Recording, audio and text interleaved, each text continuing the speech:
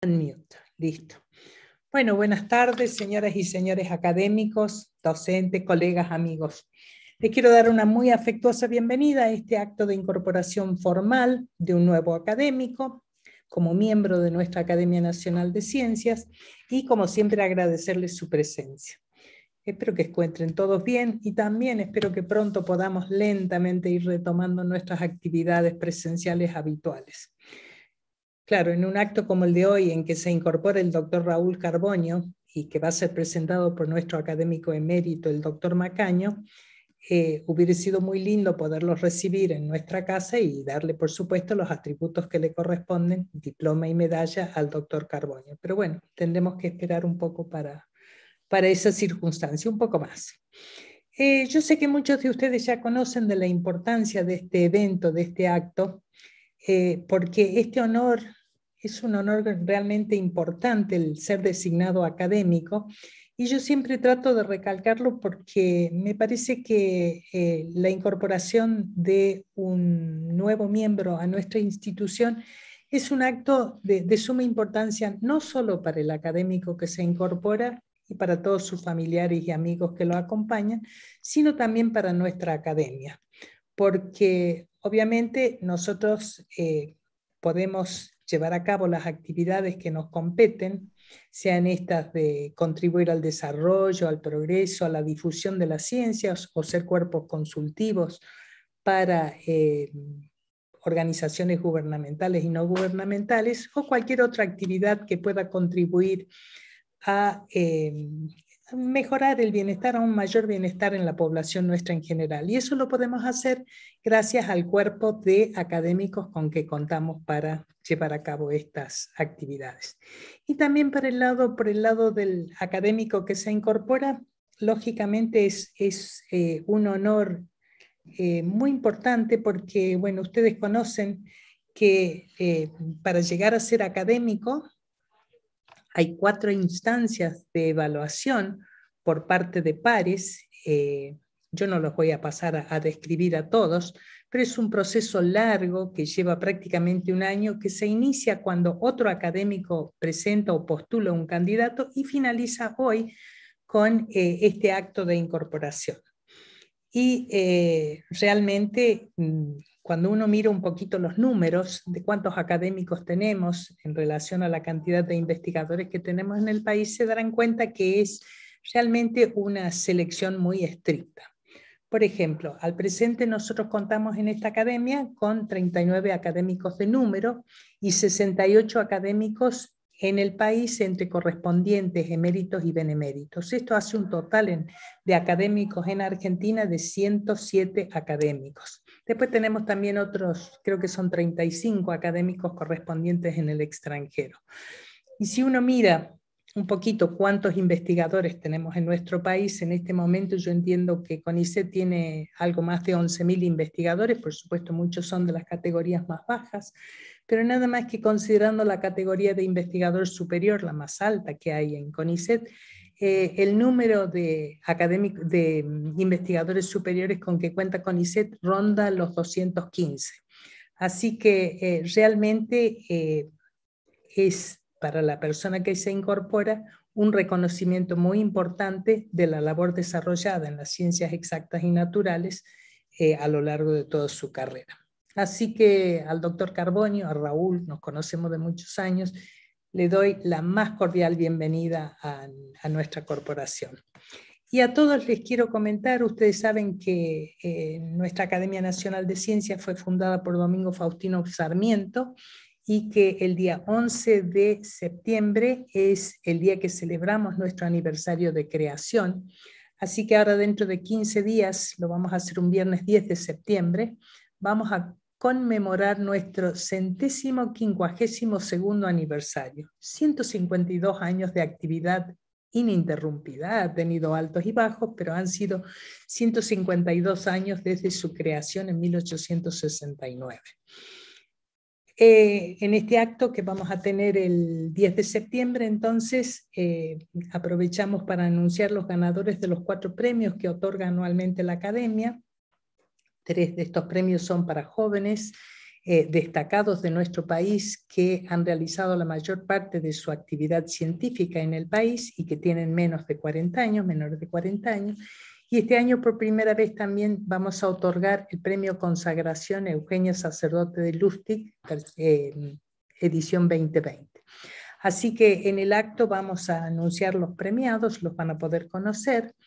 Y también eh, aprovechamos para eh, anunciar los nuevos académicos de número. Ustedes saben que por ley nacional las academias nacionales pueden tener como mínimo 20 académicos de número y como máximo 40. Entonces, una vez por año se les solicita una comisión ad hoc de, muy destacados académicos que elijan de entre sus académicos correspondientes quienes eh, por distintas circunstancias deberían de pasar a ser académicos de número y van a conocer la nómina también el, ahora en el acto del 10 de septiembre. Así que bueno, los esperamos, eh, esperamos que nos puedan acompañar, ya pronto desde Secretaría van a recibir el link, así que eh, será hasta dentro de unos días. Bueno, eh, antes de darle la palabra al doctor Macaño, Vicente Macaño, que lo va a presentar al doctor Raúl Carboño, le quiero nuevamente dar una muy cordial bienvenida a Raúl. Eh, él ya sabe que lo vamos a convocar para algunas de las tantas actividades que llevamos a cabo en la academia, así que Raúl, muy bienvenido. Y doctor Macaño, la palabra es suya.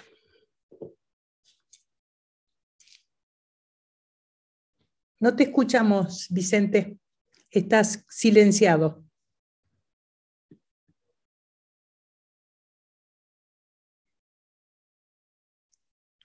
Estás con el micrófono silenciado. Ahí está.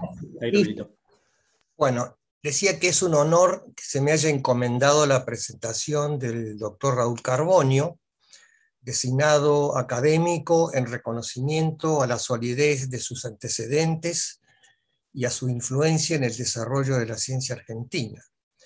Pero también es una responsabilidad porque no es sencillo expresar en pocos minutos la relevancia académica de Raúl en toda su dimensión. Uno podría hablar de sus méritos en base a un listado de antecedentes, actividades y datos numéricos, pero eso seguramente no alcanzaría y por eso es necesario aportar eh, algunos aspectos cualitativos que no siempre surgen de los currículum vitae. Primero, un rápido recorrido por su vida. Es nativo de Arias, provincia de Córdoba, y además de conocerlos con Raúl desde las actividades universitarias desde hace más de 40 años, tuve la oportunidad de conocer a su familia en, sus, en distintos niveles. Después completó sus estudios universitarios en la Facultad de Ciencias Químicas de la Universidad de Córdoba en 1979 como licenciado en Físico-Química y en 1982 como doctor en la misma especialidad. Y en la actualidad se desempeña como profesor titular plenario con dedicación exclusiva por concurso de la Facultad de Ciencias Químicas desde el año 2014. Es categoría 1 en el programa de incentivo a los docentes e investigadores. En docencia ha organizado y dictado numerosos cursos, en particular de química inorgánica, química inorgánica avanzada y química física. También lo ha hecho en docencia de posgrados y en los últimos años ha sido director del curso de doctorado Recientes avances en el refinamiento de estructuras cristalinas a partir de difracción de polvos. Además, ha sido coordinador de la quinta escuela de la Asociación Argentina de Cristalografía, resolución de estructuras cristalinas y análisis microestructural a partir de datos de difracción de polvos, dictado en colaboración con varios profesores de otros países. Carbonio es miembro de la carrera del investigador científico del CONICET en la categoría investigador superior y fue director del Instituto de Investigaciones en Físico-Química de Córdoba, INFIC, de dependencia CONICET Universidad de Córdoba. Finalizó recientemente, fue el periodo 2017-2021. Aquí quiero hacer un comentario. Cuando Raúl comenzó su carrera en CONICET como becario en 1980, el instituto solo existía en su fase previa como programa, se llamaba PRIFICI. Cuando se creó el INFIC en 1983, Raúl ahora era becario postdoctoral. En otras palabras, esta brillante carrera científica comenzó prácticamente con los orígenes desde, desde el instituto, y desde becario de iniciación hasta director del INFIC recorrió todos los estamentos. Esto es algo muy frecuente, que alguien que empieza como becario termine siendo director de la unidad ejecutora. Después realizó un postdoctorado en el Case Center for Electrochemical Science en Cleveland, Ohio, en Estados Unidos, entre 1985 y 1987 trabajando con el doctor Ernest Jäger en electroquímica de óxidos complejos con estructura de perovskita. A su regreso a la Facultad de Ciencias Químicas, cambió totalmente su línea de trabajo, iniciando una nueva línea de investigación, tanto en la facultad como en el INFIC, en química de materiales inorgánicos complejos. Y esto quiero resaltarlo, es particularmente meritorio porque el tema se desarrolló por primera vez en el país. Es algo que no todos los que regresan del exterior consiguen. Es de destacar que Raúl desarrolló toda su carrera científica en temas experimentales, con todo lo que eso significa de trabajo y de presupuesto en equipamiento. En sus inicios, debido a la falta total de equipamiento, los experimentos los realizaba en otras instituciones, algunas desde el exterior, hasta que lentamente se fueron adquiriendo algunos equipamientos propios. Una corta reflexión. No es, sencillo luchar en nuestro país con esas limitaciones. Cuando en el mundo de la ciencia se realizan determinaciones experimentales de altísimo nivel, como por ejemplo la detección de ondas gravitacionales provenientes de agujeros negros y o de estrellas de neutrones a distancias de millones de años luz, en el país todavía existen severas limitaciones presupuestarias para una actualización acorde a las necesidades mínimas de equipamiento para no perder distancia con los países más desarrollados. Lo paradójico de esto es que una argentina cordobesa y académica de nuestra universidad fue líder y vocera del grupo que desarrolló la detección de las ondas gravitacionales. Volviendo a lo que actualmente desarrolla Raúl, los principales intereses están en la química de nuevos materiales inorgánicos, física de la materia condensada de materiales inorgánicos y cristalografía de polvos. Todas las facetas de la carrera de Carbonio son de excelencia. En la formación de recursos humanos y generación de discípulos, ha dirigido 14 tesis doctorales, no solo en la Universidad de Córdoba, sino también en la Universidad Nacional de San Luis y la Universidad Nacional de Tucumán, y contando las codirigidas y las que tienen desarrollo, llega a una veintena de tesis doctorales. Dirigió también varios investigadores de la carrera de investigador del CONICET y actualmente dirige a tres. Su creación científica no es menos importante. Ha publicado más de 100 artículos originales en revistas internacionales en su mayoría de alto impacto, con un índice H de 21 y 1.600 citaciones sin autocitas. Tiene capítulos de libros y libros.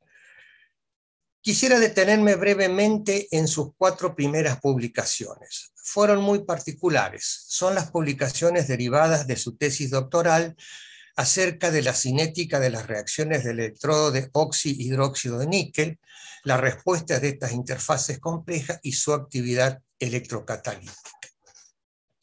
Dichas publicaciones fueron realizadas en coautoría con el doctor Alejandro Arbía, académico correspondiente recientemente fallecido. Quería hacer con esto un sentido recuerdo a quien nos acompañó en esos primeros pasos de la tesis de Raúl Carbonio. Consigna Raúl además numerosas presentaciones a congresos y reuniones científicas. Un aspecto destacable de su actividad es sin dudas la cooperación internacional. En ese sentido, puedo destacar el proyecto de cooperación internacional FONSIT-CONACIT Argentina-México 2015-2016 y el proyecto de cooperación internacional CENEREX CONICET 2016-2017. Además, tiene trabajos en colaboración en el Laboratorio de Cristalografía y Ciencias de Materiales de Francia como profesor visitante 2017 y 2018. Ha llevado a cabo numerosas estancias en centros del extranjero, en Grenoble, Francia, Madrid, en España, el Laboratorio Nacional de Luz Sincrotrón de Campinas de Brasil, Laboratorio de Cristalografía del CNREX en Francia, la Universidad Federal de Río Grande do Sul de Brasil, el National Synchrotron Brookhaven de Estados Unidos, y en algunos de ellos en varias oportunidades. En su carrera docente desempeñó los más variados cargos, desde 1976 como agregado a Conoren y ayudante alumno, hasta profesor titular plenario por concurso en el 2014. Un mérito remarcable, en mi parecer, es su actuación en gestión institucional. Entre otras, las más importantes se puede citar. Fue secretario académico de la Facultad de Ciencias Químicas, consejero por el claustro de profesores adjuntos en el Consejo Directivo de la Facultad, miembro del Consejo Directivo del Centro de Química Aplicada SEQUIMAP, director del Departamento de Físico-Química de la Facultad, conciliario titular en el Consejo Superior por el claustro docente de la Facultad de Ciencias Químicas, subsecretario de Innovación, Transferencia y Vinculación Tecnológica de la Universidad Nacional de Córdoba, secretario y luego presidente de la Fundación para la Incubación de Empresas FIDE de Córdoba, vicedirector del Instituto de Investigaciones en Físico-Química de Córdoba y luego director del instituto desde el 17 al 21. Además recibió el premio Rafael Labriola, otorgado por la Asociación Química Argentina en el 2001 para menores de 45 años, premio compartido con Ezequiel Leiva, otro académico de nuestra academia. Resumiendo, el doctor Raúl Carbonio es un científico de excelencia y reconocido prestigio internacional que ha contribuido de manera significativa al conocimiento científico universal y al desarrollo de la química en general y en especial de la química inorgánica en la Universidad Nacional de Córdoba, en el país y en otros países iberoamericanos, que se ha distinguido por el impacto internacional de sus contribuciones y que ha formado escuela entre sus discípulos. Su incorporación a la Academia Nacional de Ciencias enriquecerá la institución aportando sus conocimientos y experiencia al significativo caudal que ya distingue a nuestra institución, fundada nada menos que por Sarmiento y con más de un siglo y medio de existencia. A esta corporación incorporamos entonces hoy un nuevo miembro y a la distinción de pertenecer con todos sus méritos le sumamos el compromiso de contribuir al mantenimiento y mejoramiento de la institución. Ahora lo mejor es dar lugar al protagonista y entonces mejor que pasemos a escucharlo. Muchísimas gracias.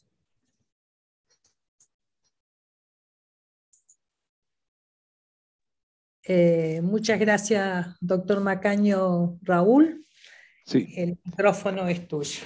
Bueno, primero quiero agradecer enormemente a la Academia Nacional de Ciencias eh, y a la presidenta Beatriz Caputo, doctora Beatriz Caputo, porque eh, la verdad que fue una grata sorpresa, es decir, es algo que no esperaba,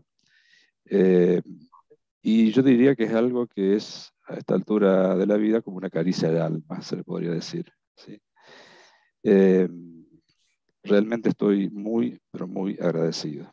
Además, quiero agradecer muy especialmente a Vicente, eh, que fue mi director de tesis, eh, por la generosa presentación que ha hecho de, de mi persona. en esta conferencia voy a hacer un recorrido muy rápido por toda mi carrera, un poco algunas cosas ya, ya las eh, dijo el doctor Macaño. Eh, el título que le puse es eh, El diseño de nuevos materiales inorgánicos, un recorrido desde la química inorgánica hasta la física de la materia condensada, que ya se verá por qué. Bueno, respecto de mis orígenes, eh, yo nací en la localidad de Arias, que está aquí en este punto, ¿sí? Al lado del límite con la provincia de Santa Fe, y es una localidad que está a 210 kilómetros de Rosario y a 370 kilómetros de Córdoba. Esto lo remarco porque yo me vine a, Córdoba junto con mi familia, por supuesto, tenía 13 años, eh, en el año 1971, y si mis padres no hubieran tomado esa decisión de venirnos a Córdoba, no estoy muy seguro si hubiera podido estudiar en la universidad, porque eso implicaba mudar, mudarme a Córdoba, ¿sí? o a Santa Fe, ah, perdón, o a Rosario, eh, y vivir muy probablemente por la condición humilde de mi familia en, en una pensión. Y bueno, eso eh, no es lo mismo que estudiar viviendo con la familia de uno, así que eh, la diferencia eh, fue notable. ¿sí? ¿De dónde salió mi vocación por la química? Yo esto lo cuento porque realmente la impronta que tuve en la escuela primaria en Arias, la Escuela Remedio de Escalada de San Martín, fue muy grande porque había una maestra que eh, en los dos últimos años de la escuela primaria, Chela Morevieta, hacía el laboratorio de ciencias. Hay que ubicarse un poco en el espacio y en el tiempo. ¿sí? Esto era a finales de la década de 1960, concretamente 1968 y 1969, en una localidad de aproximadamente 5.000 habitantes, lejos de los principales centros urbanos. Y sin embargo, esto ocurría en esa escuela y eso hizo que yo a los 12 años ya había decidido que iba a estudiar química. Probablemente no sabía muy bien lo que era la química, pero ya lo había decidido y nunca lo cambié. ¿sí? Así que estoy eternamente agradecido a esta maestra porque inculcó la, vocación por la química ya desde la escuela primaria.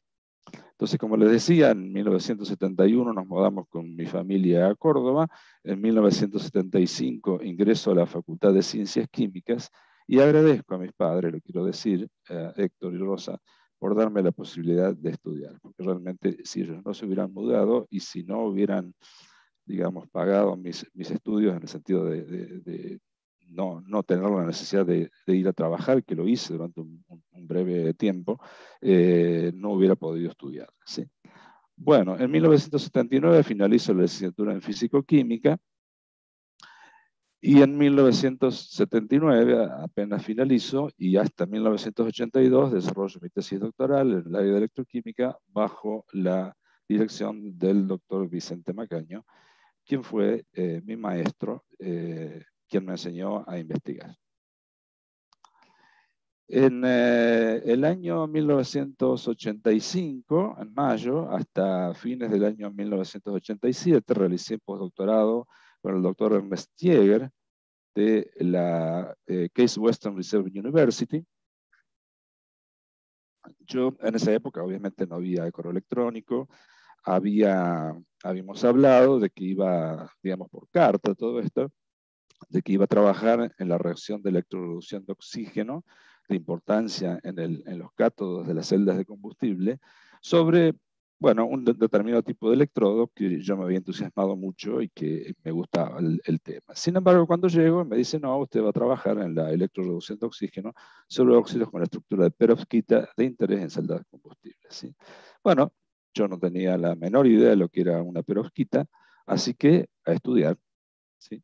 Eh, y bueno, si bien al principio hubo un poco de decepción por mi parte, eh, realmente eh, las cosas fueron cambiando y ya explico por qué. ¿sí?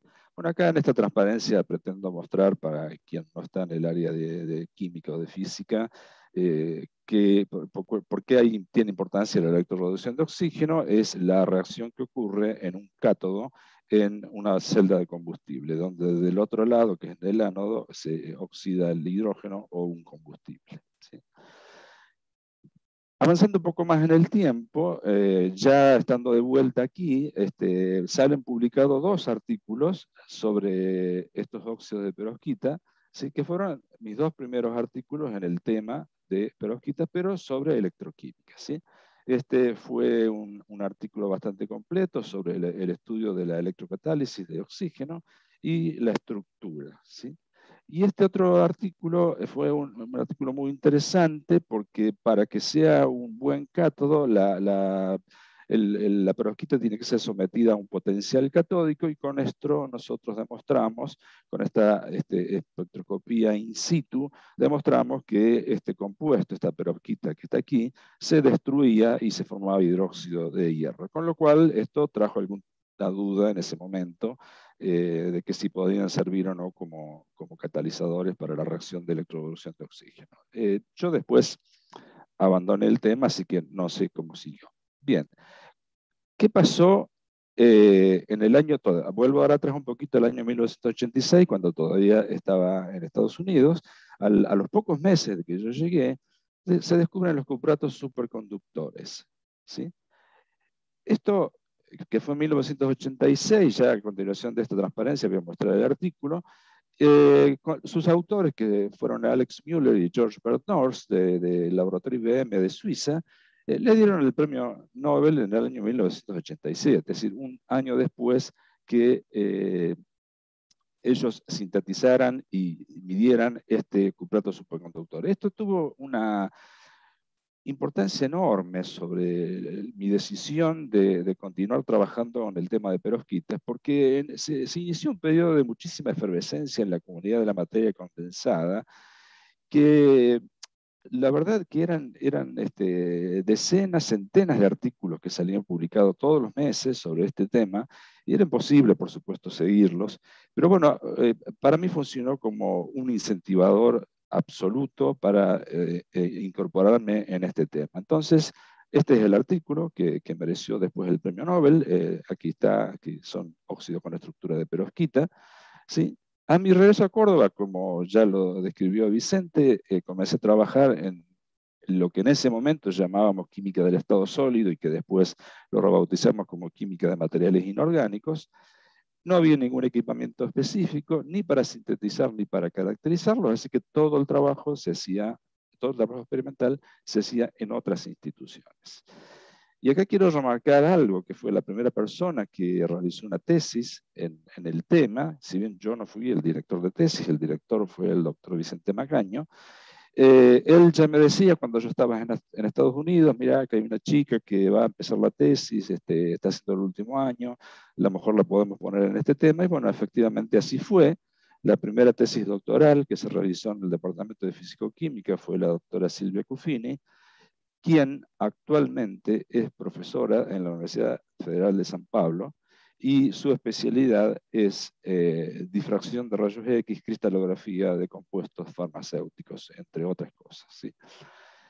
Bien, eh, este fue el primer artículo que se publicó. Eh, fíjense que ya estamos en el año 1993. Yo había regresado a la Argentina a fines de 1987 comencé a trabajar en 1988, es decir, que pasaron cinco años hasta que saliera la primera publicación en este tema que yo había iniciado con, bastante entusiasmo, eh, que yo le llamo muchas veces a este cambio que hice una locura de juventud. ¿sí?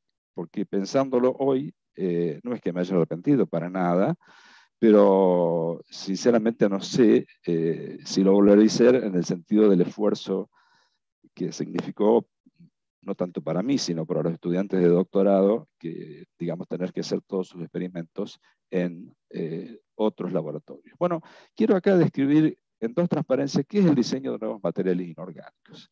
Bueno, primero uno imagina un nuevo compuesto inorgánico, sólido, cristalino, usando la intuición química. Esto puede parecer una frase muy simple, pero en realidad esta frase encierra todo lo que sigue que es imaginar que ese compuesto que no existe, que lo vamos a sintetizar, tenga una determinada estructura.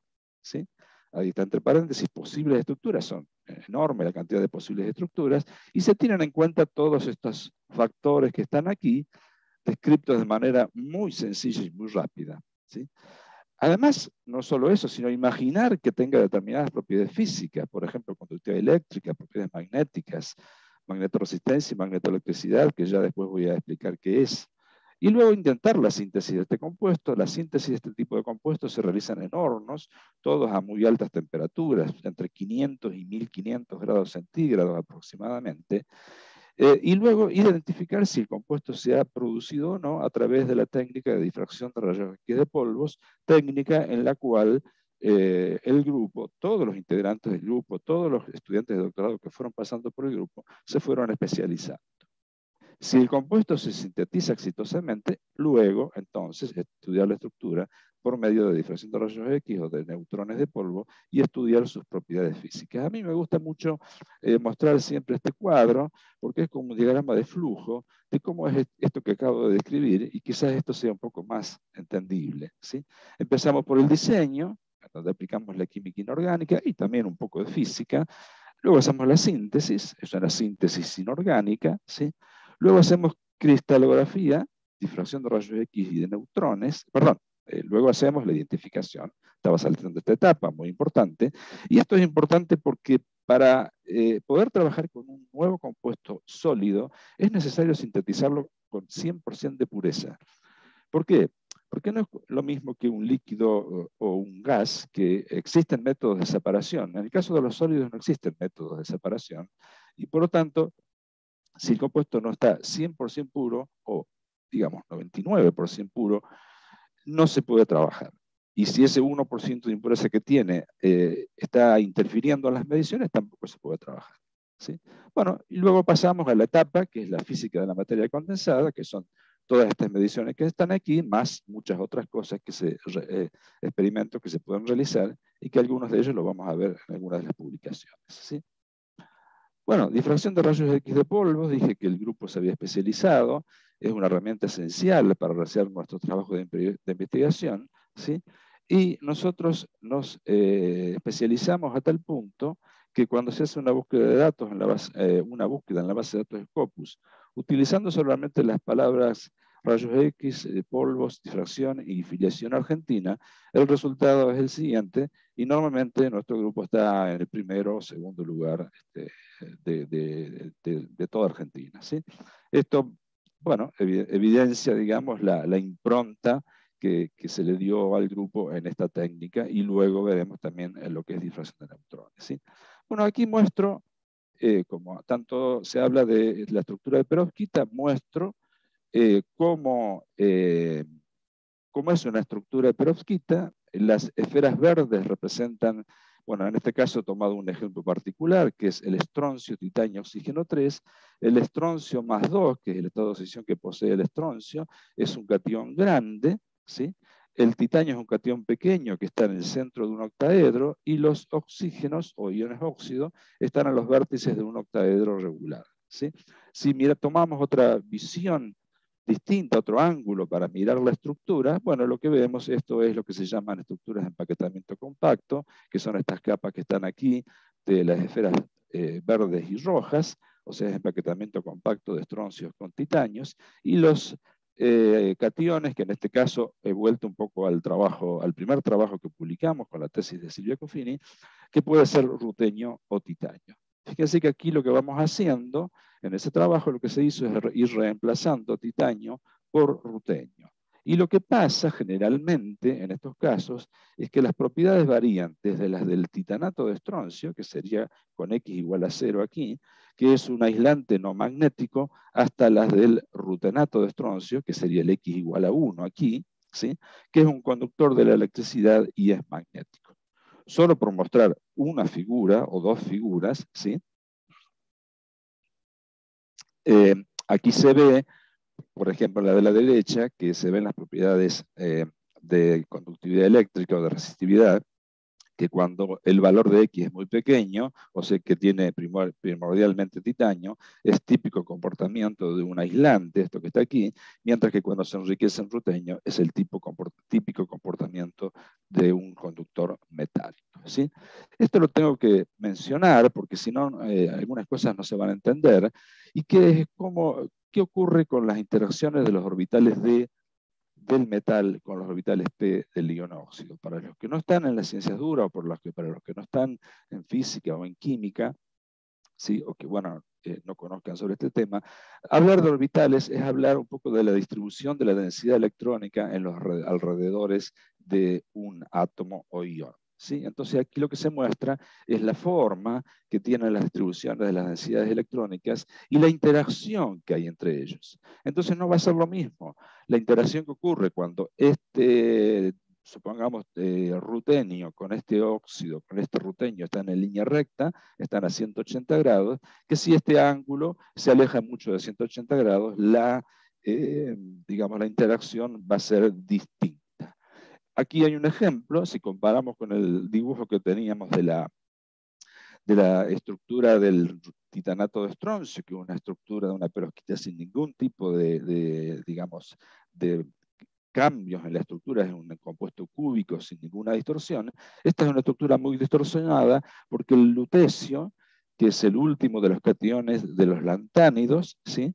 Es un ion muy pequeño, aquí está representado como esferas verdes, y al ser tan pequeño, estos octaedros que contienen en el centro, bueno, en este caso es un níquel, y los seis óxidos a su alrededor, se tienen que rotar de esta manera muy exagerada, haciendo que el ángulo ahora entre níquel, oxígeno y níquel ya esté muy lejos de 180 grados. Observar que ese ángulo está realmente muy lejos, debe estar en los alrededores de 150 grados. Como expliqué entonces en la transparencia anterior, las interacciones entre las nubes electrónicas van a ser modificadas respecto de cómo hubieran sido si esto, este efecto no hubiera ocurrido.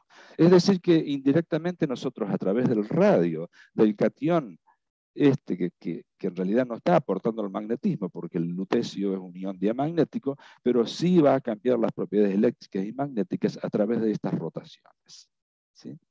Bueno, eh, siguiendo con la historia, hubo algo muy importante que sucedió en 1990, que es que el doctor Francisco de la Cruz me, me, invitó a hacer una estadía de 45 días en el laboratorio de bajas temperaturas del Centro Atómico Bariloche, y la verdad que eso fue, para mí fue extraordinario, a pesar de que en ese momento yo no hice ningún trabajo que, del cual hubiera luego alguna publicación, fue fundamental para que yo me empezara a contactar con los físicos de la materia condensada. Agradezco infinitamente a Francisco de la Cruz, porque probablemente él no lo sepa, para mí significó algo muy importante. Gracias a esto conocí al, doctor Julio Gimpel, que además de mi amigo, eh, somos coautores de seis artículos, y a la doctora Gladys Nieva, que además de también mi amiga, somos coautores de siete artículos. ¿sí? Y también han sido ambos codirectores en algunos casos o directores de, alguna tesis que yo he dirigido o he codirigido. Y después hubo, algo aún mucho más importante, y que es que en, el, en, el, en septiembre de 1993 eh, me invitaron a dar una conferencia en Santiago de Compostela, ¿sí?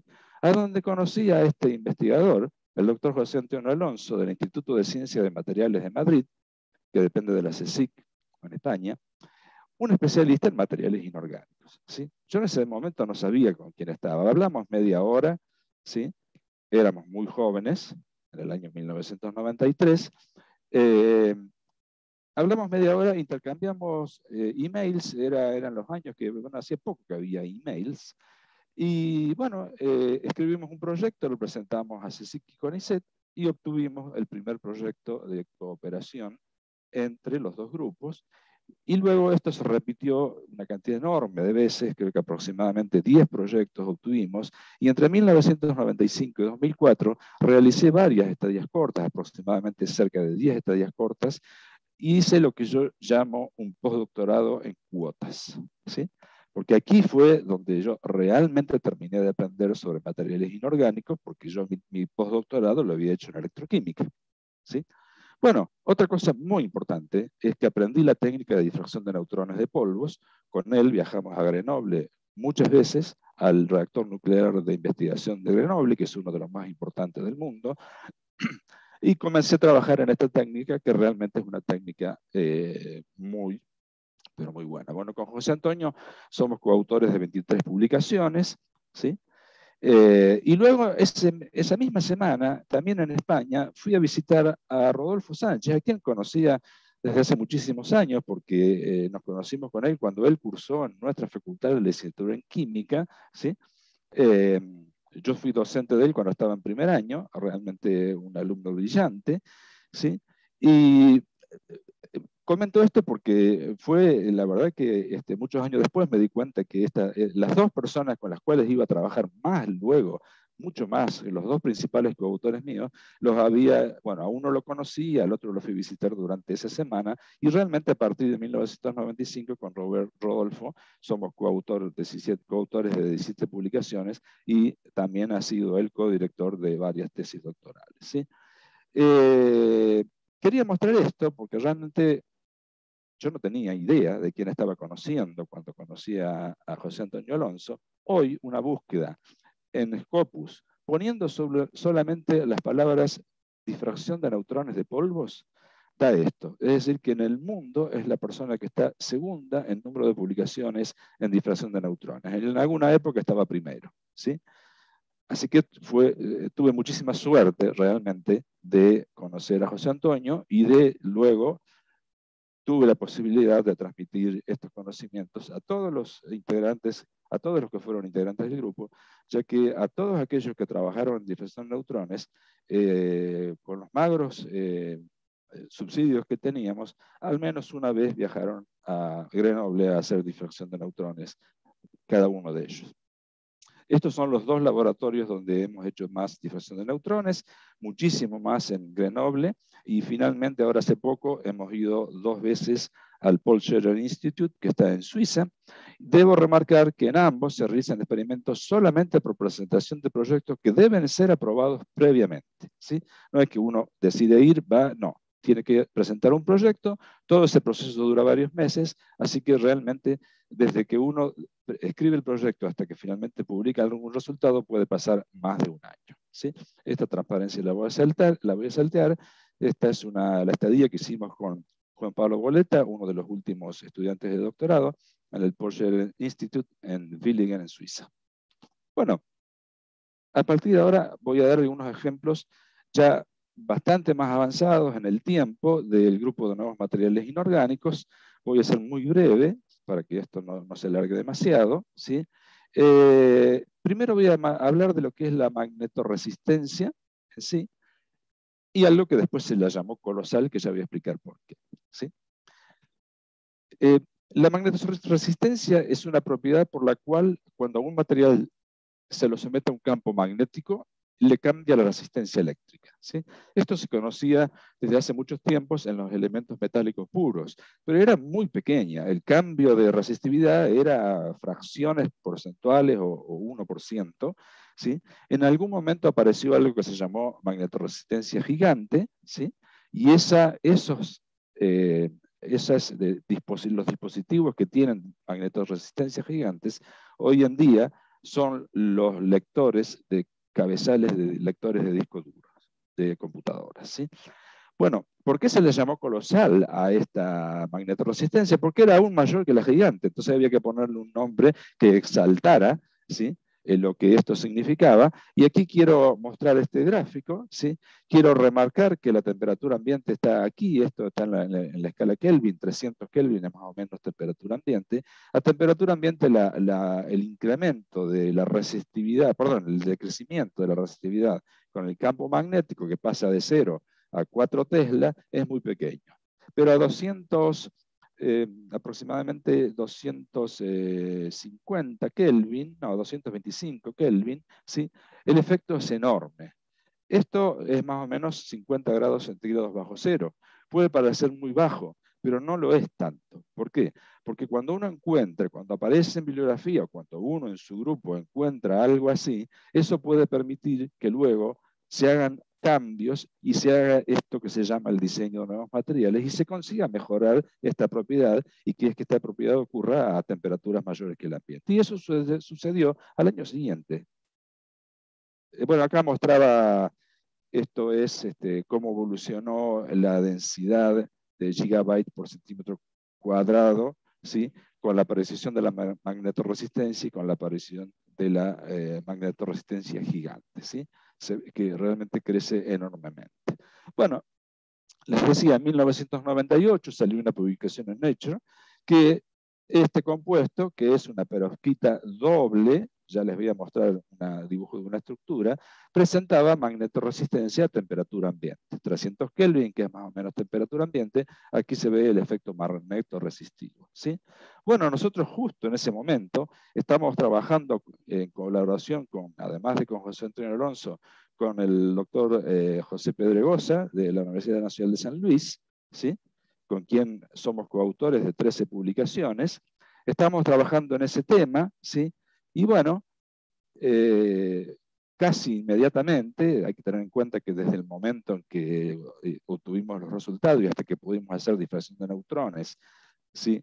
y poder terminar todos los experimentos y publicar, bueno, el, artículo demoró un par de años, pero bueno, nosotros pudimos encontrar un material con magnetoresistencia colosal en una perovskita de doble muy parecida a esta que habían publicado, pero eh, con cobalto y molibdeno en el sitio en el cual van los metales de transición. ¿sí?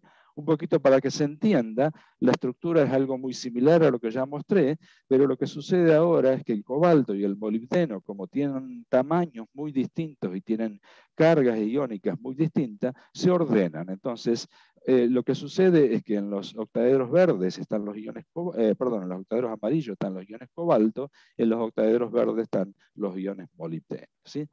Esto era para mostrar, ya que hablé tanto de difracción de neutrones, lo que es un patrón de difracción de neutrones.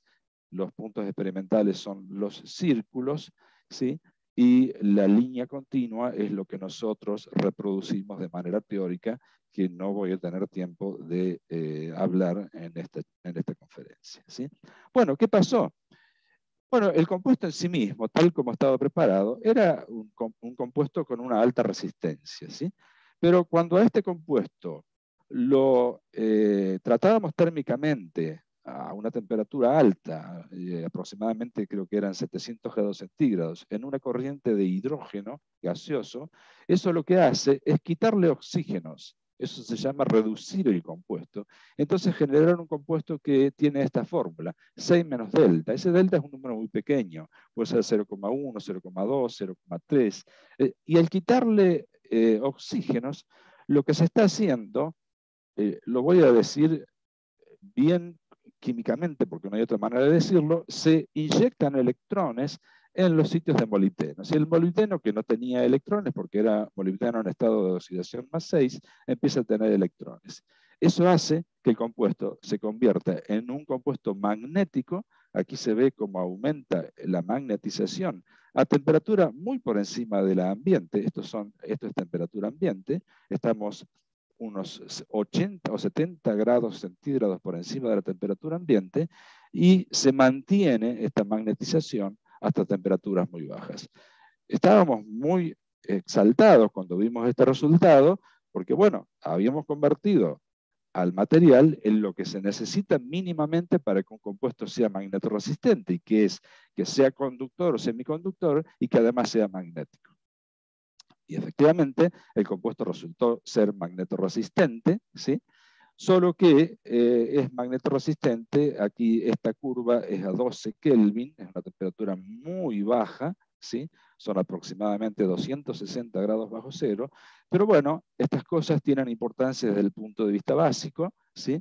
Eh, nosotros en ese momento supimos que el cobalto más 2 aportaba al momento magnético y que el molibdeno más 5 aportaba a los electrones para la conductividad eléctrica. ¿sí? La siguiente propiedad que les voy a mostrar son los materiales que se llaman multiferroicos. ¿sí? Estos materiales son aquellos que pueden almacenar información bajo la forma magnética, polarización magnética, y eléctrica, polarización eléctrica. Esta forma de almacenar de forma magnética es lo que tienen los discos duros de las computadoras, ¿sí? Actualmente. ¿sí? Lo que se hace es generar un campo magnético muy puntual en un espacio muy pequeño, ¿sí? se genera un momento magnético en la superficie del disco duro y eso es la numeración binaria del, digamos, que, se pretende digamos, grabar, sea un 0 o sea un 1, dependiendo de cómo está orientado el dipolo magnético. Pero eso también se puede hacer con un campo eléctrico, a través de la polarización eléctrica. Y lo que uno hace es, si tiene un material que tenga estas dos propiedades, esta zona de, intersección tiene lo que se llaman los materiales multiferroicos. Bueno, nosotros trabajamos también en esto, esto ya es una tesis mucho más reciente, Fernando Pomiro, eh, que fue el, eh, digamos, el eh, antepenúltimo tesista doctorado del grupo, ¿sí? Con él, en colaboración con Alonso y con Rodolfo Sánchez, publicamos este artículo en Physical Review B, ¿sí? con esta serie de compuestos. Aquí quiero comentar algo, y que es esto también es bastante común hacerlo, que es tomar una serie de compuestos que se sabe que no existen, de hecho, obviamente buscamos, sabíamos que no estaban, que no existían, ¿sí? explorarlos, ¿sí? son muchos compuestos, esto requiere muchísimo trabajo experimental, y luego analizar si alguno de ellos tiene una propiedad muy interesante. Y efectivamente eso fue lo que pasó, ¿sí? Lo que pasó es que el compuesto con tulio, este elemento, es un compuesto que por debajo de 252 Kelvin muestra una polarización eléctrica, esto demuestra, esto es polarización eléctrica versus temperatura, y esto es polarización magnética o magnetización versus temperatura, a la misma temperatura, bueno, difieren 2 o 3 grados, que eso es insignificante, también el compuesto se torna magnético. Con lo cual, esto es un material multiferroico, y lo bueno es que es un material multiferroico alrededor de 252 Kelvin, que son solamente 20 grados centígrados bajo cero. ¿Y por qué digo solamente? Si bien, obviamente, si uno quisiera hacer una aplicación práctica de esto, no podría, porque, bueno, tiene que funcionar como mínimo a 25, 30 grados centígrados, pero de nuevo vuelvo a remarcar que uno puede tomar este compuesto, hacerle modificaciones, hacer un rediseño del compuesto y subir esta temperatura, con lo cual estamos ante un compuesto extremadamente interesante, ¿sí? que, este, bueno, efectivamente seguimos trabajando en este tipo de compuestos y seguimos estudiando la posibilidad de aumentar esta temperatura. Esto rápidamente eh, es de la tesis de, Valeria Fuertes y es un trabajo que hicimos en colaboración con Germán Tirau, del IFEC, de FAMAF, de aquí de, de Córdoba, con quien somos coautor de, coautores de siete publicaciones.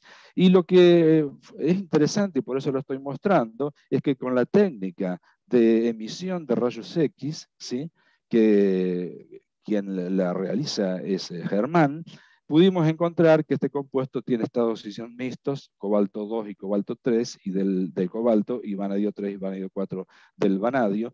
Y esto tiene una gran importancia, no lo voy a desarrollar aquí, en celdas de combustible, no solo como electrodo, sino también eventualmente como electrolito. ¿sí? Bueno, y aquí viene la última etapa, En el año 2015 eh, le escribí a Antoine Miñón, que es este señor que está aquí, para ver si estaba interesado en, que presentáramos un proyecto Cenares CONICET. Cenares es el CONICET de Francia, y el día siguiente recibí la respuesta. Uno no espera que una persona que tiene alrededor de mil artículos le, le, responda en menos de 12 horas, y efectivamente así fue. Y bueno, luego este, me derivó con Christine Martin, que es esta señora que está aquí, eh, con ambos somos muy amigos, yo viajé con mi esposa allí a Caen, a la, ciudad de Caen, eh, nos hemos hecho muy amigos, bueno, dejando de lado esto y yendo a la parte científica, la cuestión es que hice cuatro estadías en total, yo, y después, ahora, en este momento, hay un ex eh, tesista mío que está haciendo un postdoctorado allí con ellos, ¿sí? Bien, vamos entonces a mencionar muy brevemente los artículos que obtuvimos con Fernando Pomiro, con eh, Juan Pablo Leta. Juan Pablo está en este momento en, eh, en CAEN, haciendo un postdoctorado con Antoine y Christine, y con Florencia Lurgo, que está en este momento haciendo, terminando su tesis doctoral, es la última tesista del grupo, y aquí incorporamos, digo incorporamos porque bueno, yo creo que esto ya es un enorme equipo, eh, desde el año 2015 a Orlando Viloni, también de FAMAC, y de FAMAF, perdón, y del IFEC, quien eh, aportó sus conocimientos en simulaciones de Monte Carlo, estos son cálculos teóricos, que nos sirvieron para explicar el comportamiento de los momentos magnéticos en estas, en estas peroquitas eh, del este, lutecio y cromo. ¿sí? Yo estoy resumiéndolo mucho aquí por falta de tiempo, pero bueno, esto fue muy interesante porque nos permitió estudiar los tres artículos tratan sobre este tema que se llama reorientación de spin, ¿sí? El spin es el momento magnético que tiene cada uno de los metales de transición, ¿sí?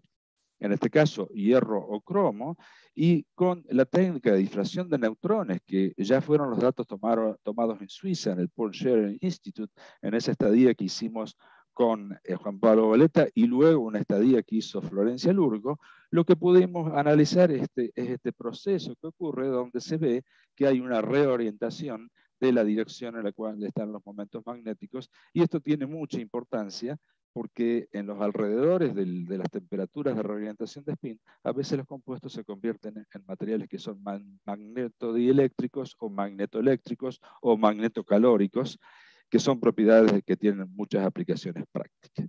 Con esto hicimos con Juan Pablo Boleta y parte de los resultados de Fernando Pomiro, esto que es un diagrama de fases magnéticas, que no voy a tener tiempo de, escribirlo. Quiero remarcar que el artículo con Fernando Pomiro es un artículo que está recibiendo muchas citaciones, al menos para nosotros es mucho, más o menos entre 12 y 15 citaciones por año desde que lo publicamos. ¿sí?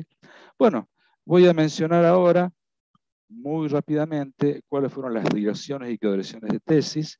La primera, en realidad, como ya expliqué, fue una colaboración en la dirección. El director fue el doctor Vicente Macaño. Actualmente, Silvia es profesora de la Universidad Federal de San Pablo. El doctor Horacio Falcón, actualmente es investigador de CONICET, aquí en la Universidad Tecnológica. La doctora Silvina Pagola es eh, Research Assistant Professor en una universidad en Virginia, en Estados Unidos el doctor Luis Reinaudi, bueno, acá dice si fui director o codirector, es investigador adjunto, actualmente en nuestro instituto. ¿sí? Esta tesis recibió el premio Enrique Herrero Duclux a la mejor tesis en estas áreas. La doctora Vivian Nassif que es investigador responsable de la línea D2B de difracción de neutrones en el Institut Laguel-Jevan en Grenoble, en Francia. Lo quiero remarcar porque esto, además del orgullo que, tengo yo y que tiene todo el grupo, de que una ex integrante del grupo como el responsable de una línea de difracción de neutrones, este, eh, nosotros cuando vamos a hacer difracción a este difractómetro, nos atiende ella. Es decir, que es, realmente algo eh, muy, pero muy importante. Luego la doctora María del Carmen Viola, quien lamentablemente falleció a, muy temprana edad, eh, su tesis la, fui codirector, el director fue José Pedregosa y también recibió un premio que está aquí escrito. El doctor De Paoli, Juan De Paoli, es inspector asistente de CONICET en nuestro grupo. El doctor Pinaca es del grupo del doctor Pedregosa, es docente en la Universidad de San Luis. El doctor Diego Gil, ¿sí? Eh, a quien lo codirigí conjuntamente con la doctora María Inés Gómez, quien lamentablemente no, no, la mencioné, pero bueno, la menciono ahora, que está aquí escrito. Con ella colaboramos muchísimo también. Yo fui director eh, de una estudiante de doctorado en su laboratorio y fui codirector de, este, el doctor Diego Gil, quien actualmente es investigador adjunto de CONICET y es profesor adjunto en la Universidad Nacional de Tucumán. Carolina Navarro es la persona que dirigía en Tucumán, actualmente es profesora adjunta allí. Valeria Fuerte, investigadora de CONICET, actualmente en nuestro laboratorio. María Cecilia Blanco es miembro de la carrera del personal de apoyo aquí en Córdoba, en el SICTERRA. El doctor Diego Franco es actualmente investigador en el Centro Atómico Bariloche. El doctor Lenner es actualmente investigador junto aquí en el INFIC. El doctor Capelletti es actualmente becario postdoctoral en el Centro para la Vivienda Económica el doctor Pomiro, que se dedica a la actividad privada, la doctora Arciniaga Jaimes, que trabaja, eh, es docente en el INFIC, pero trabaja, hace investigación en el IFEC, y el doctor Juan Pablo Boleta, quien ya mencioné, que tiene una posición postdoctoral en Francia, y la actual becaria, que es Florencia Lurgo, que está terminando su tesis doctoral. Este es el grupo, actualmente, eh, Juan de Paoli, Valeria Fuertes son investigadores, eh, Florencia Lurgo, que es becaria de CONICET, tesista, y Joan, que actualmente sería como un, nieto mío este, en, el aspecto científico, que es becario de CONICET y que este es el grupo como está conformado actualmente, hemos quedado pocos, hubo mucha gente que se ha ido a otras partes, lo cual es muy bueno también, por supuesto. ¿sí?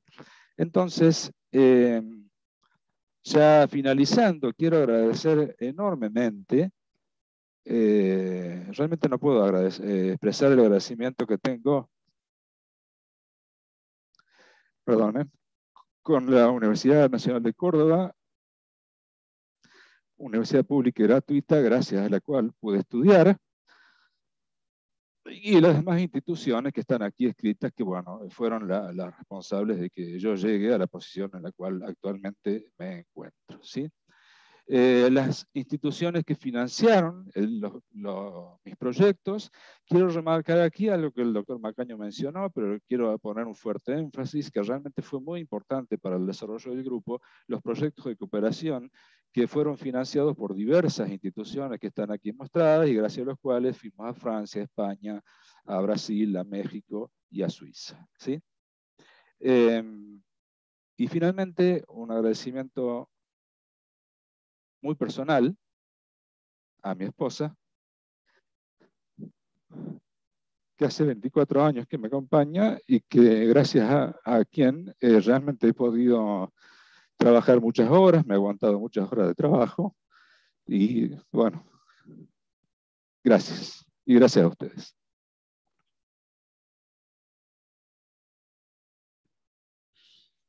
Muchas gracias, Raúl. Una preciosa conferencia, un paso por tu vida realmente muy lindo, muy, muy agradable.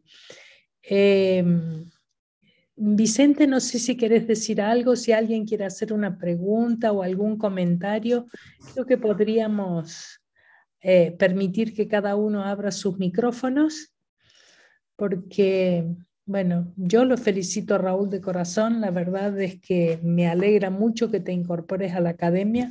Te vamos a estar incorporando las actividades rápidamente, así que alguien está hablando. No sé si alguien quiere hacer alguna pregunta. Según me comentó esta mañana Raúl, gustosamente las va a responder. Así que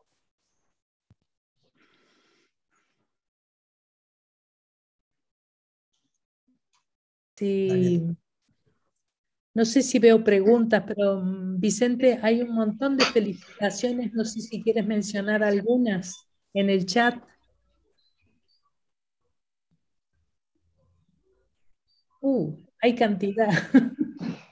Sí, pero todas. Bueno, los vamos a. Se los vamos a hacer llegar. Sí, son muchísimas. Hay una felicitación del flamante director del INFIC, Sergio Dassi, que dice felicitaciones Raúl de toda la comunidad del INFIC por tu incorporación a la academia. Muchas gracias, muchas gracias a todos.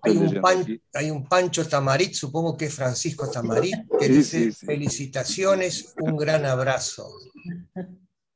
Bueno, hay muchísimas más. Valeria Fuertes, que es la discípula, Gustavo Pino, Ezequiel Leiva, estoy nombrando no el contenido, sino los autores, Mabel Judy, Alicia Beglia, Maxi Burgos, Gerardo Fidelio, Marcelo, debe ser Mariscal, Gabriel Aurelio, Omar Linares, Néstor Katz de Tucumán, eh, Gabriela Inés Laconi, supongo, Nita Silver, Beatriz Toselli, Carlos Condat del IFEC, Miriam Estrumia, José Luis Boco, Laura Moyano, Diana Arciniegas, Carla Giacomelli, Liliana Pierela, Carlos Rinaldi, bueno, basta, che, Juan Martín de Paoli, Carolina Navarro,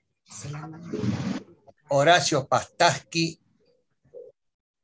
Ricardo Rojas, Hugo Macioni, habló Macioni también, Faustino Siñeriz, Carlos Monzón, Mariano Teruel, Sergio Alberto, no sé quién es. Daci. Ah, Daci de nuevo. Y John Telles. Joan Telles. Bueno. Te, quedaron Leí todos los nombres. Se quedaron colgados Orlando Viloni y Raúl Bustos Marum. Ajá.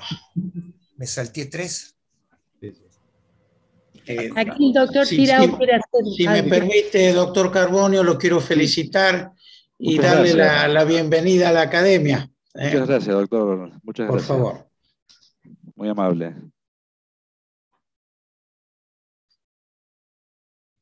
Con gusto respondo. Aprovecho para hacerle una pregunta. Sí, cómo no. desde muy lejos de, su área, ¿no es cierto? ¿Algunos de estos materiales este, están fabricados ya en, alguna escala eh, comercial, por así decir? Eh, bueno, eh, me viene muy bien su pregunta, se la agradezco, porque cuando yo hablo de ese diagrama de flujo, sí que mostré, eh, generalmente se lo digo a los estudiantes de doctorado cuando recién inician para que no se decepcionen, que uno eh, imagina un material y lo sintetiza probablemente con un 100% de, probabilidad de, tener éxito, 95%. ¿sí? Luego que tenga la propiedad que uno imagina, ya la probabilidad de éxito es bastante menor. Y por último, que esa propiedad la tenga por encima de temperatura ambiente es bajísima. ¿sí? O sea, no es fácil, y esto es así en todas partes del mundo, porque yo he visitado muchos laboratorios de, materiales inorgánicos, y realmente conseguir algo que, como usted me está preguntando, si tiene una aplicación a escala, a gran escala o a escala piloto, la verdad que de lo que nosotros hemos hecho, de lo que yo he hecho en toda mi carrera científica, hasta ahora nada ha, tenido la suficiente fortaleza como para que este, sea, tenga aplicación en, en algo un dispositivo se llama, digamos, ¿sí? Muchas gracias. No, de nada. Vicente está silenciado. Yo tengo una pregunta. Espera un poquito que Vicente pidió antes. Vicente está silenciado. Ahí está. Ahora está. No, quería comentar que el, el Tirao que recién preguntó Juan Tirao es pariente del otro Tirao. ¿eh? Sí. Es pariente del Germán pero si lo alejan al padre solo con el equipo no lo hace, ni siquiera lo enchufa, me parece, ¿no? ¿O sí? Pero es muy orgulloso padre, debo decir, así que que el hijo lo ayude de vez en cuando está muy bien. Hugo quería hacer una pregunta. Estás eh, mutado, Hugo. Sí. Sí, Raúl. Sí. Hola Raúl, bueno, muchas gracias. ¿Me escuchás? Sí, sí, claro. Sí. Ah. Eh, Raúl, bueno, muchas gracias por la conferencia, muy agradable. Hasta yo entendí que no soy físico-químico, pero eh, me trae alguna reminiscencia a lo que pasa en, en biología o en biomédicas, donde también se trata de, de modelizar este, estructuras eh, previendo eh, sitios de reacción para generar, suponete, un antibiótico o un analgésico, en fin, un medicamento en general. Y eso para nosotros es una parte muy complicada porque son moléculas grandes y este, entonces generar sitios de interacción o que a conveniencia, digamos, del, problema, no es fácil. Y la pregunta que te hago es, cuando vos decís, bueno, eh, tenemos un compuesto que a esta temperatura más o menos funciona y ahora lo queremos mejorar para que sea más versátil. Para... Esa, esa etapa, eh, ¿es muy difícil en el área o es relativamente una de las más fáciles. ¿Qué comentarios puede hacer? Bueno, es muy variable porque depende del tipo de compuesto, sí, depende de la versatilidad que tiene un compuesto. Versatilidad, eh, yo el ejemplo que di, el, todo el mundo reconoce que trabaja en esto, que las perovskitas son los compuestos más versátiles que hay en materiales inorgánicos, ¿sí? Porque prácticamente la mitad de la tabla periódica puede ocupar el lugar que ocupa el estroncio y la otra mitad puede ocupar el lugar que ocupa el titanio, con lo cual las combinaciones que hay son infinitas. Entonces, si hablamos de esa estructura, yo te diría, hay buenas chances, ¿sí? Porque uno puede poner ahí tantos iones, yo te diría que para, por ejemplo, subir la, la, la propiedades magnéticas a temperatura por encima del ambiente, lo típico es poner hierro. ¿sí? No hierro metálico, sino ion hierro, ion hierro más 3. ¿sí? Ahora, si es otra estructura, que nosotros trabajamos también en nuestras estructuras, yo me centré en una para que fuera más entendible, y depende de la versatilidad de la, de la familia estructural. ¿sí?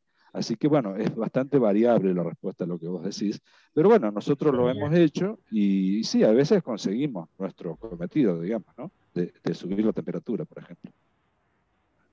Gracias. No había nada. Eh, Sergio Gassi quiere hacer una pregunta.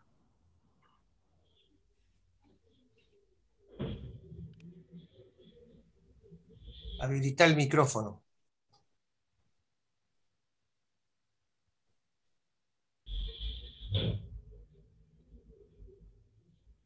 Ahora sí, no, estaba cortado de alguna forma. Eh, Raúl, bueno, primero felicitaciones y gracias por la charla, gracias por, tan interesante eh, paneo de todo lo que tuviste que hacer. A veces uno trabaja en el mismo lugar y no lo sabe, esa es la verdad. Eh, no, mi pregunta, mi pregunta tiene que ver con, tu experiencia, con lo que hiciste, y es, una, es con una mirada hacia futuro. Eh, ¿cuáles son los materiales que hoy se están buscando? ¿Cuáles son los materiales que te imaginas a una década? ¿Por dónde va a pasar la cosa en los nuevos materiales? Bueno, yo creo que, digamos, bueno, es, muy grande, ¿no? Cuando uno dice materiales, este, te diría casi infinito, ¿no? Pero de la parte que yo más experiencia tengo, te diría que lo que es almacenamiento de información, almacenamiento de energía y conversión de energía son las tres áreas que más van a requerir en los próximos años. ¿sí? Te doy ejemplos. Almacenamiento de información, lo acabo de dar, los multiferroicos. ¿sí? Eh, yo tengo mis dudas de que realmente se consiga algo que tenga aplicación práctica. Es muy difícil que las dos propiedades, la ferroelectricidad y el ferromagnetismo, estén acoplados. ¿sí? Porque tiene que estar acoplado, no basta con que existan las dos propiedades. Quiere decir que si yo aplico un campo eléctrico, tengo que mover el campo magnético, y viceversa, si aquí aplico un campo magnético, tengo que reorientar el campo eléctrico. Eh, almacenamiento de energía, bueno, eh, nosotros no hacemos eso. Bueno, Valeria Fuerte está trabajando en eso, eh, hasta donde yo sé. y bueno, por supuesto, el grupo de, de Leiva de, de, materiales para este, almacenamiento de energía en baterías de litio es fundamental, ¿sí?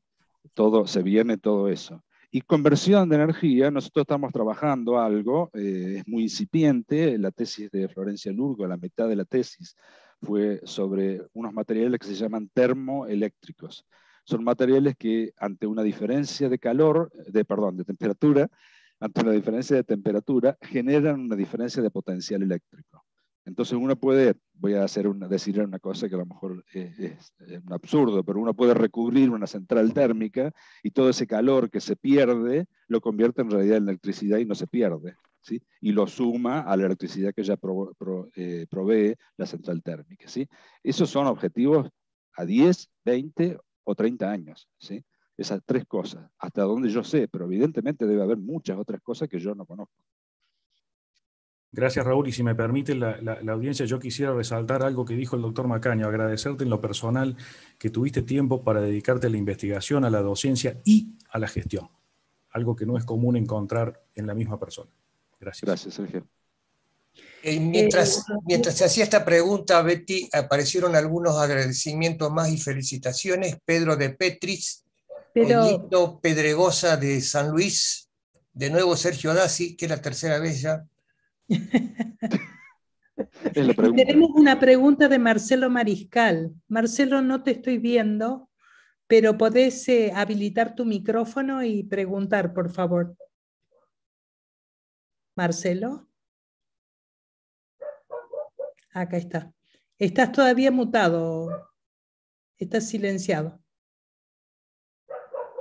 Ahí, está. ahora sí, ahora sí. ahora Bueno, gracias, bueno, felicitaciones Raúl eh, por este reconocimiento. Este, además, una, conferencia espectacular, muy didáctica, hermosa. Bueno, los que te tuvimos de profe sabemos cómo das clases, así que este, un gusto escucharte. Raúl, este, más allá de bueno, todos los agradecimientos que, se te puede dar en este momento, tengo una preguntita. Eh, la verdad que no, conozco muy bien el tema de las perosquitas, pero me, surgió la duda si, si es posible eh, de capar en láminas estos materiales a través de algún mecanismo, o sea, exfoliación o lo que sea, y poder tener estos materiales eh, bidimensionales que supongo que pueden llegar a tener propiedades electrónicas muy, muy interesantes. ¿Hay algo de eso? ¿Puedes hacer algún comentario? Y bueno, felicitaciones y muchas gracias. Bueno, muchas gracias Marcelo, muchas gracias por tus palabras. Eh, Marcelo, El caso de las perovskitas, eh, eh, a ver, las perovskitas en sí mismos, lo que yo mostré, no se pueden decapar, son eh, sólidos tridimensionales, ¿sí? no tienen estructura laminar, pero lo que sí uno puede hacer es lo que se llama un crecimiento epitaxial sobre monocristales que tengan estructura de perovskita. Lo más común es utilizar monocristales de titanato de estroncio, una placa de titanato de estroncio monocristalino, y depositar en, ultra alto vacío eh, una perovskita que ha sido sintetizada en polvo. Eso produce una capa muy delgada que tiene eh, una orientación preferencial ¿sí? de cierto plano cristalino. ¿sí? O sea, eso no sé si sirve para lo, lo que vos estás pensando. Pero sí trabajamos en la tesis de Florencia Urgo con unos materiales que son bidimensionales, que son unos materiales que tienen la estructura de yoduro de cadmio y de cloruro de cadmio, ¿sí? que son bidimensionales prácticamente como el grafito, digamos, ¿sí? porque hay una unión que es covalente entre los, los iones yoduro, ¿sí? que obviamente tiene una fuerza, este, digamos, este, no covalente, dije mal, de fuerza tipo Van der Waals, ¿sí? y eso, eso los podés mover, los podés, digamos, podés este, cortar, podés correr y se pueden hacer materiales en lámina. Y si, bueno, si, si hay algo que te interesa, se puede trabajar sobre ese tipo de compuestos. Ezequiel Leiva, Ezequiel tiene una pregunta. Ezequiel tiene una pregunta, sí. Sí, dos cosas, Raúl. Por un lado, Hola, Ezequiel. agradecerte esta hermosa charla. y agradecerte también todos los momentos que tuvimos como compañeros, porque fuiste un excelente compañero, tuve la suerte de tenerte como compañero en mi carrera. Y, y, realmente hermosos momentos compartidos con vos, después como tesista, agradecerte todo ese tiempo, agradecerte las noches que amenizabas con armónica los campamentos en Vacarías en noche de julio, que fríos, y bueno, eh, Gracias por todo ese tiempo. Y tengo una pregunta cortita. Eh, las perosquitas empezaron a sonar muchísimo en la parte de energía solar los últimos años como una opción muy barata y eh, muy promisoria. Quería saber si tenías algún comentario de último momento, digamos, de últimas novedades al respecto. Sí, son compuestos eh, que son muy distintos de, la, todas estas perosquitas que yo mencioné. Eh, son compuestos primero que el método de síntesis es generalmente es por precipitación. ¿no? Yo no, soy un experto en ese tema, pero hasta donde yo sé, son compuestos que se obtienen por precipitación en solución acuosa. ¿sí? Este, generalmente eh, son además nanocristalinos ¿sí? y no tienen la diversidad que tienen todos estos otros compuestos que uno le mete prácticamente la mitad, la mitad de la tabla periódica en cada uno de los sitios. Se llama sitio A, que es el cation grande, y sitio B, que es el cation chico. ¿sí? En general, eh, si no estoy equivocado, eh, tienen plomo, ¿sí? que es el cation grande, ¿sí? Eh, o puede ser también algún este, radical, digamos, como el amonio, pero que en lugar de tener hidrógenos tenga radicales orgánicos, ¿sí? Eh, o sea, son muy distintas, ¿sí? Son muy, pero muy distintas. Eh, en el método de preparación y en la diversidad de compuestos que se pueden preparar. Lo que sí yo he visto, porque bueno, he leído para conocer sobre el tema, para tener cultura general, digamos, lo que sí he visto es que se manejan mucho con el tema de los nano, nanomateriales y variando el tamaño de las nanopartículas, eso varía aparentemente las propiedades que tienen estos compuestos, pero no, no diría que uno tiene una diversidad de compuestos como tiene con todas las otras perovskitas. Me parece que Valeria ha agregado un comentario. Valeria Fuentes, no sé, Valeria, si querés eh, abrir tu micrófono. Estás, silenciada. Ahí está. Sí, no, eh, solamente agregué, Raúl, felicitaciones. La verdad que para variar me, hiciste llorar, yo que lloro fácilmente, pero la verdad que la, presentación es hermosa y, lo que nos enseñaste todo este tiempo y la pasión que tenemos todos por estas perosquitas, ¿no? Que ojalá que continúe mucho, mucho tiempo más. Eh, no, quería agregar solamente a la pregunta de ese recién, este, que en general las perovskitas, esas particularmente para aplicaciones en energía solar, son aloperovskitas. Y nosotros en realidad heredamos de Raúl todo el, eh, todo el conocimiento acerca de óxidos. pero esas son más bien eh, sintetizadas de manera orgánica, o sea, en química orgánica hay algún grupo, hay un, par de colegas que están haciendo algo, sintetizando holoperovskitas para aplicación en energía solar. Por eso por ahí la versatilidad que presentan los óxidos, que son los materiales que nosotros trabajamos, no es tan amplia. Solamente eso. Gracias, Raúl. Vicente, está silenciado y también tenemos un comentario de Alejandro Fracaroli después. Sí, Vicente. No, yo antes, antes de que se, cierren todos los, los, micrófonos y se vayan, quiero pasar un chivo en nombre de la Comisión de Extensión y Fomento de la Ciencia de la Academia, que estamos organizando el ciclo Descubriendo la Ciencia. La próxima conferencia va a ser el 14 de septiembre y va a estar a cargo de Julio Navarro. Eh, el que conoce detalles de eso es Horacio. ¿Estás por ahí, Horacio? no sé si ya tiene el título definitivo, pero en principio nos va a hablar de energías oscuras y materia oscura, o algo así, más o menos relacionado con eso va a ser el tema. Bueno.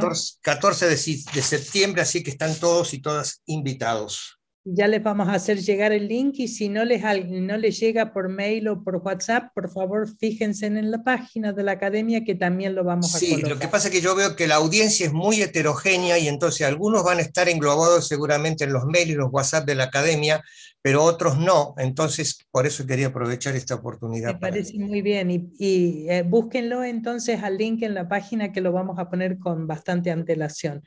Tenemos... Eh, Raúl, no sé si has visto el Alejandro Zacaroli. Alejandro, sí. Bueno, Alejandro, eh, a esa pregunta creo que nos vamos a, Vamos a leer la pregunta primero. Sí, perdón, sí. Dice, le pide a Raúl un consejo para quienes estamos comenzando con nuestras carreras independientes en el país. Bueno, eh, Alejandro, bueno, gracias por tu comentario. Y bueno, creo que nos tenemos que sentar a tomar un café un rato largo. Pero sí te diría una cosa que por mi experiencia, hay que ponerle pasión. ¿Sí? Es el principal ingrediente para esto, es ponerle pasión. Después hay muchas otras cosas que las podemos hablar personalmente. ¿sí? Me parece muy buen consejo. Bueno, eh, no sé ah. si hay algún otro comentario. Si no, los invito a todos a que abran los micrófonos eh, me parece que debemos darle un muy fuerte aplauso, aplauso a Raúl, que realmente ha dado una conferencia hermosa. Así que, Raúl, muy bien. Bravo, Raúl. Muy bien. Muchas gracias.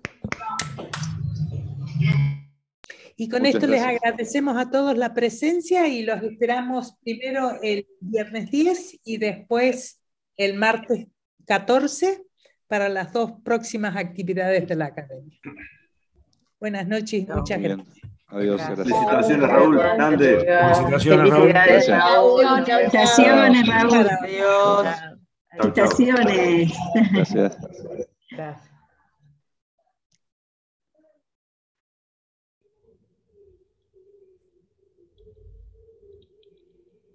Muy lindo. Muy lindo, muy lindo.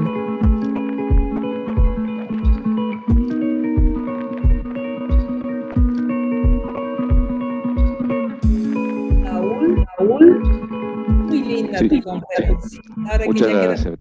te digo que me encantó, muy linda.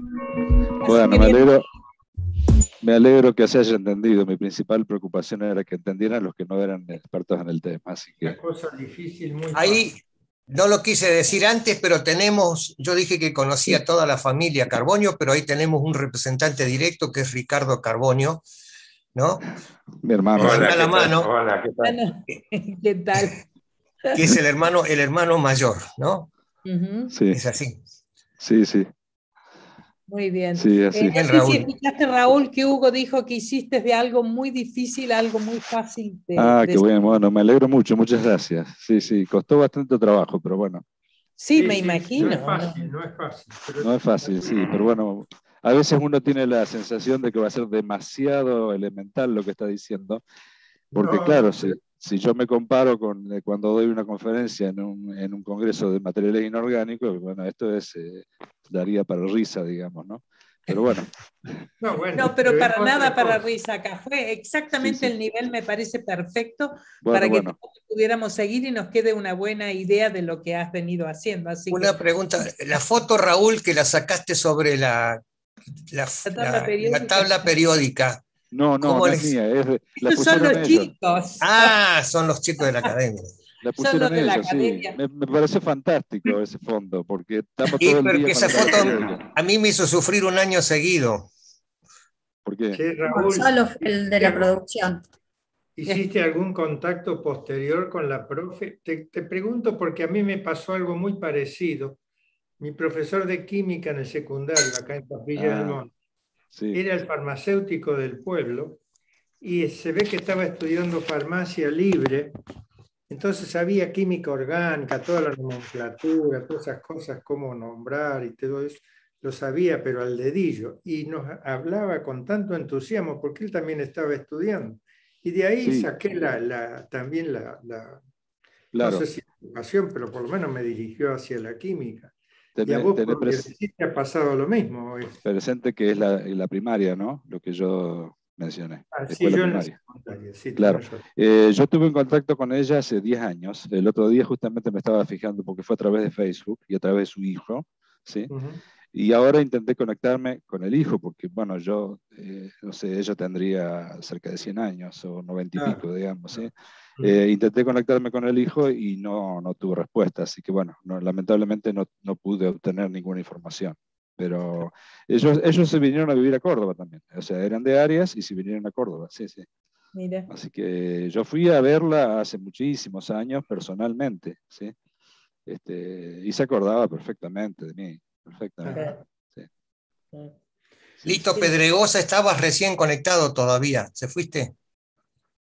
¿Quién? Pedregosa, de San Luis, Lito. No, ya no está. Aló, hay nueve personas nomás conectadas. Ah, bueno, bueno. No, hasta reciencito estaba por eso. Mm.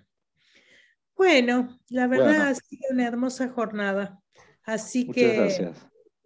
Te mereces un vinito y unos salamitos. Relajate ahora. y no te imaginas. Sí hemos pasado todo por eso y sí es muy estresante, pero te salió bárbaro, así que te podés ir tranquilo a festejar. Listo, muchas gracias. Chao, gracias a todos. Chao, Vicente. Chao. Sandra, nos hablamos mañana. Gonzalo, maestro, Sandra, Maite, muy bien. Mm, como siempre. Muy bien, muchas gracias. Chao, gente. Nos hablamos mañana. Chao. Chao, Vicente. Nos hablamos mañana, Sandra. Dale, sí, sí, sí. Hasta mañana. Chao, chicos, gracias. Eh. Chao, te leo. Chao. Le va a salir más caro mañana sábado. Eh, bueno, ¿qué va a ser? De vez en cuando hay que aflojar los cocodrilos del bolsillo.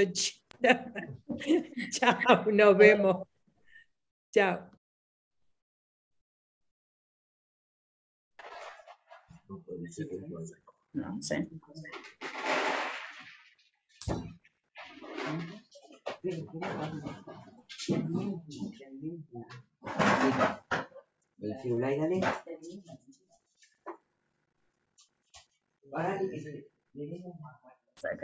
No sé, la saco porque está el anfitrión, porque si no, no. Así cierro y puedo grabar. Chao, Maite, nos vemos. Chao, Maite. Eh, después nos hablamos, Gonzalo, para ver todo lo otro. Eh, saqué, se vaya a cagar. ¿Dónde estuviste en YouTube?